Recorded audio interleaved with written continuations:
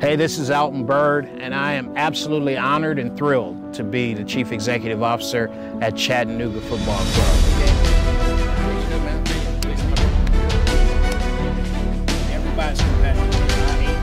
I'm a normal guy that's had the good fortune of being a professional athlete. I've been a coach, I've been a GM, I've worked in NFL, I've worked in the NBA, I've been blessed, I've been very lucky. I've always been a student of not only business, but sports.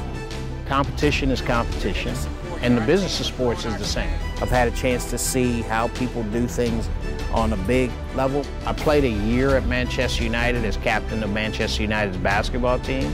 So I got a chance to see the inner workings of what a big club, one of the global big clubs, is like.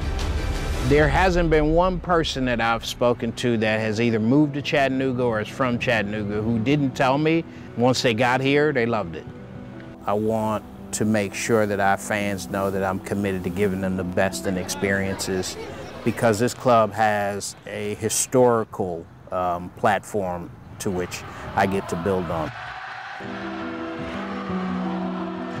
I'm open-minded, I'm willing to experiment, I'm willing to learn, I'm willing to see things differently. There's a lot of potential. And I hope and really pray that as we grow together, you'll support the, continue to support the club um, as we grow and look towards the future.